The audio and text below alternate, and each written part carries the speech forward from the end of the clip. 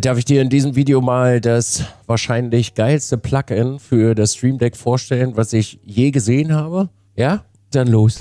Moinsen, willkommen zu einem neuen Video. Heute möchte ich dir mal ein äh, Plugin vorstellen für das Stream Deck, was mich komplett aus den Latschen gekracht hat. Ich möchte extra nochmal dazu sagen, ich bin sehr, sehr spät zur Party. Okay, also das gibt es schon eine ganze Weile. Ich habe es nur vorher nie gehabt. Kurze Erklärung, ich habe meine Buttonbox umgebaut. Ich hatte hier links an der Seite immer eine Buttonbox und dort waren ein Loop Deck drin und ein Stream Deck. Das Stream Deck war, um meinen äh, Computer zu steuern und das Loop Deck den PC. Das habe ich jetzt vor kurzem umgebaut, weil ich mir meine Buttonbox etwas, ja, wie soll ich sagen, funktionaler gebastelt habe. Dann kam der gute Andreas auf mich zu, Error 4044 und sagte so, Maga, kennst du schon iRaise Ich so, nee, was ist denn das? Das ist ein Plugin für das Stream Deck. Und da bin ich mal auf die Suche gegangen und bin auf die Homepage gekommen und habe mich hier jetzt erstmal so ein bisschen umgeguckt und dann standen hier schon so ein paar Funktionen und dann dachte ich mir so, okay, das ist ja schon gar nicht mal so wenig. Äh, lass uns das Ganze doch mal ausprobieren.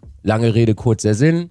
Ich mir das Ganze erstmal runtergeladen und habe das mal auf mein Stream Deck getan. Und jetzt, falls ihr es noch nicht kennt, wird wahrscheinlich dem einen oder anderen gleich der Kopf rauchen, ein dickes Grinsen im Gedicht, äh, Gesicht sein oder du sagst dir so, ich hätte das gerne für andere Sims auch. Und zwar folgendes. Wenn wir uns das jetzt hier mal äh, anschauen in der Software vom Stream Deck, dann gehen wir hier einfach mal ganz kurz rein. Und dann siehst du hier allerhand Buttons. Du kannst oben schon sehen, dass es TC, TC2, ABS und Breakbar ist. Wie du jetzt gerade auch schon sehen kannst, ist das Ganze offline. Ich habe jetzt hier nichts weiter gestartet äh, dazu. Also die SIM ist noch nicht an, das machen wir äh, gleich nochmal. Aber du siehst, dass es äh, Knöpfe gibt, die man drücken kann. Und scheinbar sind die auch irgendwie an iRacing gebunden.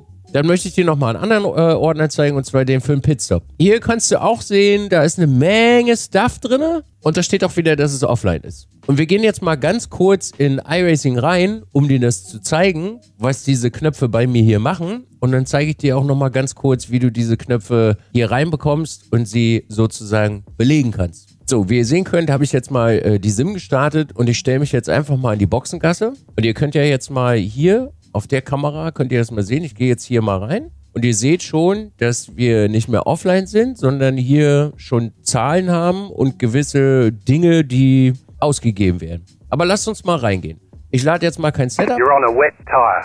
Äh, ja, danke. Es regnet aber nicht. Und du kannst sofort... Was hältst du davon, wenn du einfach mal nicht dazwischen redest, wenn ich den Menschen was erklären möchte, okay? Wie du jetzt hier sehen kannst auf der Kamera, liest der alle Daten aus, die du im Auto hast. Das heißt, wenn du jetzt irgendwie kein Dashboard haben solltest oder ne, weißt, äh, du hast kein Dashboard oder du hast auch kein äh, Display auf deinem Lenkrad oder du siehst das Dashboard vom Auto selber nicht, dann kannst du hier das so einstellen, dass du das auslesen kannst. Also bei mir jetzt hier TC, TC2, ABS etc. pp. Und du kannst das hiermit einfach umstellen. Und wie du siehst, ändert sich auch gleich die Zahl noch damit. Du kannst hier alles quasi machen on the fly und du siehst es. Wenn wir jetzt mal die Zündung drücken, siehst du, dass der Starter auch seine Farbe verändert und du kannst draufdrücken.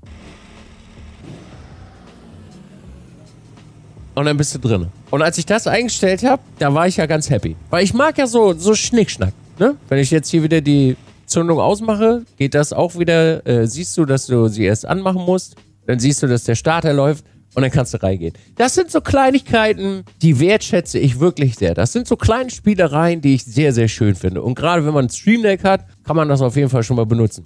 Aber was noch viel, viel, viel, viel geiler ist, du gehst jetzt mal, wir gehen mal in den Pitstop rein. Und du siehst jetzt hier bei mir in der Mitte, wie viel ich getankt habe. Dann könnte ich beispielsweise sagen, ich will ein Liter, vier Liter, ne? Also ich kann jetzt jeweils immer einen weiteren Liter reinmachen. Oder ich gehe in Zehner-Schritten rein und sage, ich will jetzt hier einfach 38 Liter nachtanken. Äh, geht jetzt nicht, weil das Auto ist jetzt voll. Aber das würde jetzt hier an der Stelle auch funktionieren. Was ich auch total geil finde, ist, ich kann jetzt hier anmachen, dass er vorne die Scheibe, die Folie abmachen soll. Das habe ich jetzt auch hier drauf. Ich fahre jetzt mal aus der Box raus, damit wir das auch mal machen können.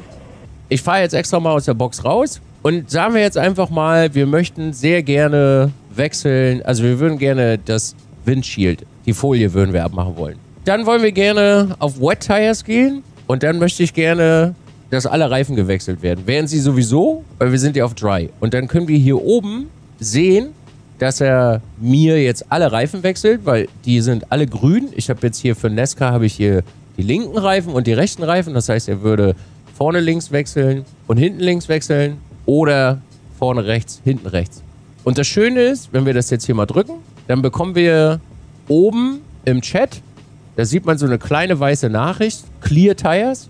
Jetzt werden keine Tires mehr gewechselt und jetzt sage ich, ich möchte nur rechts wechseln und dann wechselt er mir nur RF und RR. Das heißt, ich kriege auch immer gleich auf dem Bildschirm für mich Feedback, was er denn gerade gemacht hat, wenn die Farbe nicht reicht. Also ich meine, die Farbe ist ja schon mehr als ausreichend. Und dann sage ich jetzt einfach mal, okay, ich will Wet Tires machen und ihr seht, er wechselt gleich alles wieder auf Wet Tires. Du kannst hier auch den Autofuel anmachen, wenn du möchtest. Du kannst ihn an- und ausmachen. Das kann er jetzt noch nicht, weil er kein Fuel berechnet hat. Du kannst hier den Damage kannst du auch einstellen, dass du äh, dein Fast Repair beispielsweise benutzen möchtest. Das ist bei mir hier unten.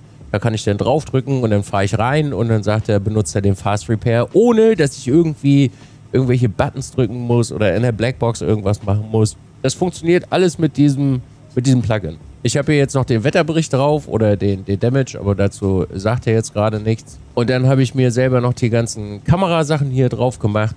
Aber das ist ja so, ich sag mal, jeder, der jetzt so eine Buttonbox hat, der ist ja damit relativ, ja, ich sag mal, vertraut, dass er sich das da drauflegt. Aber auch das würde hier gehen.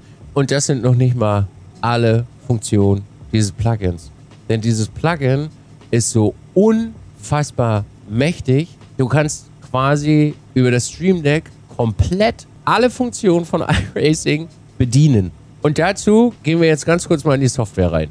Ich mache mal kurz den Wagen aus, dass ihr hier nicht die ganze Zeit tuckert im Hintergrund. Also wenn wir jetzt wieder zurückgehen in die Software vom Stream Deck, dann wirst du hier das iRace IT Plugin finden, wenn du es installiert hast. Das kannst du äh, ganz einfach machen, wenn du hier auf den Marketplace gehst. Ne, dann kommst du hier hin und dann sagst du, gibst du einfach iRacing ein und dann kannst du dir das hier quasi runterladen und dann ist das bei dir drin. Du brauchst dafür äh, einen Account bei Elgato. Den muss ich mir auch anlegen. Und dann installiere dir das und dann findest du das hier. Und dann kannst du, wenn du jetzt hier beispielsweise, wir nehmen mal den Pitstop, dann kannst du hier, wie du siehst, alles, aber auch wirklich alles einstellen, was du einstellen möchtest. Du kannst jeden einzelnen Reifen nur vorne rechts, nur rechts.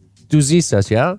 Du kannst den Refuel kannst du einstellen. Du kannst sagen, wie viel Liter du hinzufügen willst. Wenn wir jetzt hier mal beispielsweise reingehen bei mir, ne, dann kannst du hier sagen, du möchtest 10 Liter oder 2 Gallonen hinzufügen oder du möchtest sie rausnehmen und dann kannst du halt auch in Einserschritten. Du könntest jetzt in der Theorie, wenn du noch richtig, richtig Bock hast und du hast irgendwie keine Flags, die du irgendwo hast, die dich anblinkern, könntest du auch einfach sagen, komm, mach mir mal den Button jetzt mit einem Flag Overlay und dann könntest du dir auch aus, deine, aus deinem Stream Deck eine LED-Flagge mit dazu bauen. Das heißt, es gibt ja Menschen, die nicht äh, aber tausende Euro ausgeben wollen und jedes Add-on und Goodie sich kaufen. Dann kannst du hier einen Haken reinmachen und Abfahrt. Du kannst hier auch deine eigenen Icons kannst du hier auch noch mit reinmachen, wenn du da Bock drauf hast. Also wie du siehst, was Pitstop angeht, ist alles dabei. Wenn wir jetzt mal in Car reingehen, vorsichtig, dann kannst du hier nämlich auch alles machen. Wirklich alles. MGU, Engine Power, Engine Brake, Div, alles mögliche. Traction Control bis 4, Power Steering. Hier ist wirklich alles drinne, was du in iRacing umstellen kannst, was es in der Theorie als Buttons gibt, die du belegen kannst in den Optionen, findest du hier drinne und die sind alle für dich visuell dargestellt. Also wie du hier auch siehst, ne, Brake Bias, können wir auch hier nochmal reingehen, ist bei mir jetzt hier an der Stelle rot, weil die Farben kannst du natürlich auch noch auswählen, weil da war nämlich ein 12-Fett dabei. Da kannst du nämlich runterscrollen und dann kannst du hier auch die Frame Color angeben. Das heißt also, du kannst das Ding von oben bis unten komplett individualisieren, was du im Auto machen kannst. Aber das ist ja auch noch nicht alles. Du kannst auch gerne, wenn du möchtest, hier einfach eine Chat-Message drauflegen und sagen, äh, hallo, gutes äh, Rennen. Und dann wird er jedes Mal, wenn du diesen Knopf drückst, ob du es nun glaubst oder nicht, warte, wir gehen rein, wird er hier Hallo, gutes Rennen in den Chat reinschreiben. Also wenn du da auch noch Bock drauf hast, kannst du das auch mal. Gibt ja ein paar Leute, die das äh, machen. Ne, die sagen sich dann, äh, ich möchte sehr gerne mal meine Mitmenschen grüßen und denen gutes Rennen wünschen.